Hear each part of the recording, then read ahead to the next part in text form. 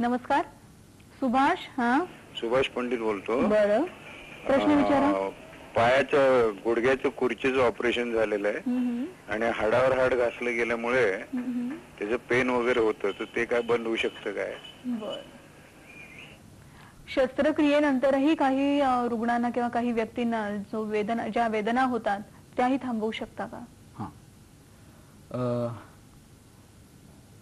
आता तुम्ही जो प्रश्न विचारला की शस्त्रक्रियेनंतर चालू आहेत. याच्यामध्ये पुन्हा दोन भाग आहेत. एक त्या शस्त्रक्रियेतनं तो आजार दुरुस्त होईपर्यंत. म्हणजे पहिले तीन चार दिवस. ह्या पिरियडमध्ये नक्कीच आपण त्यांच्या वेदना कमी करू शकतो. त्याच्यासाठी वेगवेगळे उपचार पद्धती आहेत. त्यांना आपण गोळ्या देऊ शकतो इंजेक्शन देऊ शकतो आणि इंजेक्शनमध्ये अनॅस्थेटिस त्याच्यासाठी वेगळ्या प्रकारचे देऊ शकतात. त्यासाठी पण पेशंटने आधी त्यांना अप्रोच व्हायला पाहिजे. त्यांच्याशी डिस्कस करायला पाहिजे. फायदे तोटे त्याचे डिस्कस करायला पाहिजे. बऱ्याच वेळा मी सांगितलं तुम्हाला की एखादं कॅन्सरचं ऑपरेशन झालंय. किंवा पोटाचं ऑपरेशन झालंय. तर अशा पेशंटला मी एपिड्युरल अनॅस्थेशिया हा देतो. हे जे आता मी दाखवतोय हा. असा याला एपिड्युरल कॅन्युला असं म्हणतात. तर पेशंटला पाठीला हे इंजेक्शन देऊन मगाशी दाखवलं त्या निडल मधनं आत ह्या अशा अशा प्रकारच्या सुईमधनं अच्छा. हे आत टाकून हा. आणि त्याच्यानंतर सुई काढून घेतली जाते आणि हा कॅन्युला पाठीच्या आत ठेवला जातो. अच्छा. त्याला चिकटपट्टी लावून ड्रेसिंग ठेवलं हा. जातं आणि मग ह्याच्या दुसऱ्या टोकातनं पेशंटला आपल्याला औषध देता येतं. हे औषध द्यायच्या पुन्हा दोन पद्धती आहेत. एक एक दहा दहा बारा बारा तासाने पेशंटला दुखेल तसं एकदा द्यायचं. आणि दुसरं एखादा पंप मिळतो छोटासा पंप की त्याच्याने हळूहळू औषधात जातं. याचा फायदा असा होतो की पेशंटला अजिबात वेदना होत नाही. पेशंट पूर्ण शुद्धीवर जागा राहतो. तर पूर्वीच्या काळी कसं असायचं की खूप वेदना शामक दिले की तो पेशंट जवळजवळ बेशुद्ध असायचा. बरोबर. याच्यामुळे कसं आहे की पेशंट फ्रेश त्याला कळत राहतं की नक्की त्याला काय- काय तो अगदी अवेअर असतो आपण बरोबर. आणि त्याला वेदना होत नाही. अच्छा. तर हे झालं अक्यूट पेन म्हणजे पोस्ट ऑपरेटिव्ह पेन हा एक मार्ग आहे. तसंच कधी कधी हाताचा असेल तर आम्ही हातासाठी तो ब्लॉक देतो. अच्छा. नर्व ब्लॉक म्हणतात त्याला. अच्छा. आणि त्याच्यातनं आम्ही औषधं देत असतो. हा हा. तर कुठल्या रिजनमध्ये त्याला पेन आहे त्याच्यावरती त्याच्यावर काय. उपाय तो बरोबर. काहीच शक्य नसलं तर बऱ्याच वेळा हल्ली इंट्राव्हेनस म्हणजे सलाईन म्हणणं पण आपल्याला हे औषधं देता येतात. आणि आता तर नवीन नवीन काही मशिनरी आली आहे की ज्याच्यामुळे पेशंटला पेन होईल. तेव्हा तो एक बटन दाबतो आणि तेवढंच एक डोस वेदनाशामक औषध त्याच्या शरीरात सोडलं जातं. पेशंट पेन फ्री जातो. आणि त्याला ऑपरेशन झालं हे कळत सुद्धा नाही. त्यामुळे आत्ताच्या काळामध्ये कुठल्याही प्रकारची शारीरिक वेदना सहन करायची आवश्यकता नाही. त्याच्यासाठी उपाय आहे. बरोबर. दुसरा उपचार पद्धती करत असताना तुम्ही ऍडमिट करून घेता का? हो हॉस्पिटलमध्ये? ऑपरेटिव्ह ऑपरेशन नंतर जर असेल पेन हा, तर तो पेशंट मग- ऑपरेशनसाठी हॉस्पिटलाइज असतो. त्यामुळे पहिल्या दोन दिवस साधारणतः हे लागतं. आणि काही पेशंटला ऑपरेशन नंतर काही पेन सुरू होतात. फॉर एक्झाम्पल मी तुम्हाला दाखवतो की आता एक कॅन्सरचा पेशंट आहे. आणि त्याला ऑपरेशन नंतर जर हा. सुरू झाल्या वेदना.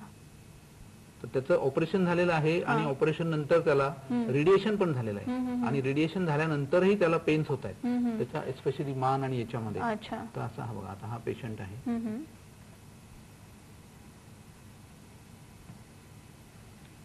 त्याला सुद्धा अशा प्रकारे दिली जाते उपचार पद्धती आणि कुठून पेन येत आहे. ते बघून मग तिथे त्याची जी नर्व असते. तिथे आपण त्याला ते इंजेक्शन दिलं जातं. अच्छा. आणि ते दिल्यानंतर त्याला कित्येक महिने समजा आता ह्या पेशंट जो मी आता मगाशी मेन्शन करत होतो या पेशंटला त्या ब्लॉक दिल्यानंतर जवळजवळ तीन महिने त्याला त्या वेदनेपासून त्याला मुक्तता. मुक्तता मिळते. आणि तीन महिन्यानंतर पुन्हा सुरू झालं की पुन्हा आपण ही उपचार पद्धती देऊ शकतो का? हा समजा तीन महिन्यानंतर त्याला पुन्हा पेन झाल्या बरं. तर आपण ते रिपीट करू शकतो. याच्यात काही ऑपरेशन सारखं नाही. की एकदा केल्यानंतर संपलं असं संपलं असं नाही. तर आणखीन आपण सविस्तर बोलूया पण अं, पुढच्या टप्प्यामध्ये. प्रेक्षक आपली ही चर्चा आपण अशीच पुढे चालू ठेवणार आहोत. एक सात शून्य शून्य दोन दोन एक शून्य एक शून्य या क्रमांकावर संपर्कात राहा. भेटूया या थोड्याशा विश्रांतीनंतर. आजचा आपला चर्चेचा विषय आहे वेदना निवारक उपचार. आणि यावर मार्गदर्शन करण्यासाठी आज आपण आमंत्रित केलंय डॉक्टर यशवंत नानकर यांना. सर आपल्याला एक प्रश्न येतोय तो आधी घेऊया. नमस्कार नम्रता.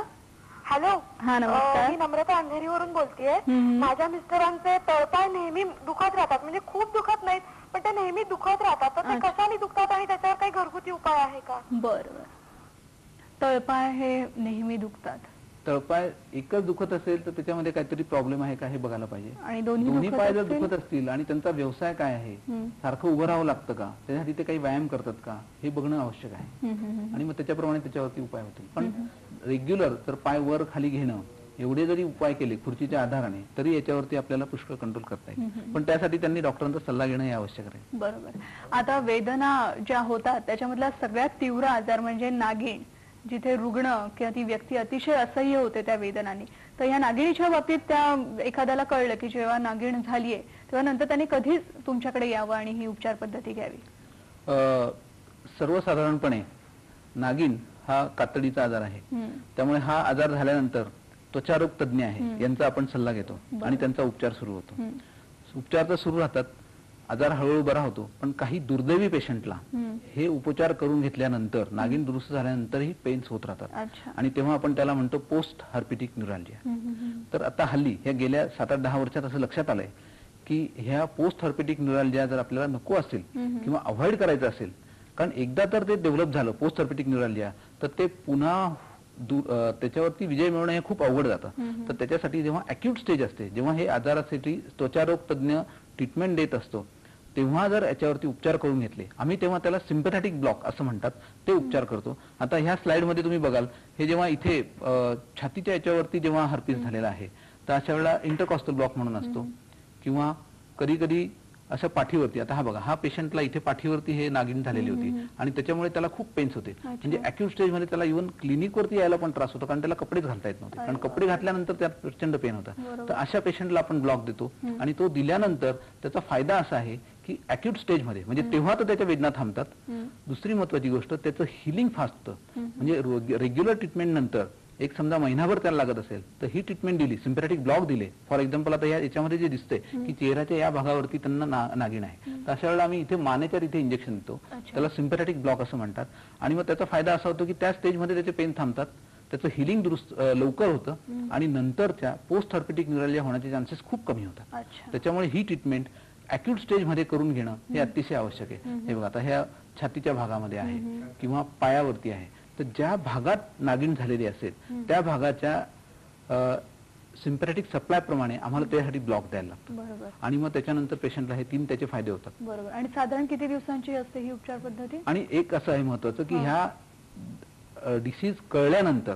जर पहिल्या आठ पंधरा दिवसात जर हे उपचार केले गेले. तर त्याचा नक्की फायदा होतो. जसं जसं पंधरा दिवसाच्या पुढे जसा उशीर होईल तसं तसा त्याचा फायदा होण्याचं पर्सेंटेज कमी होत जातो आणि वेळ लागतो त्यामुळे शक्यतो पहिल्या आठ पंधरा दिवसातच आपल्या त्वचारोग तज्ञांच्या सल्ल्याने हे. उपचार करून घ्यावेत आणि त्याच्याने नक्की आपल्याला फायदा होईल बरोबर आणखीन एक प्रश्न घेऊया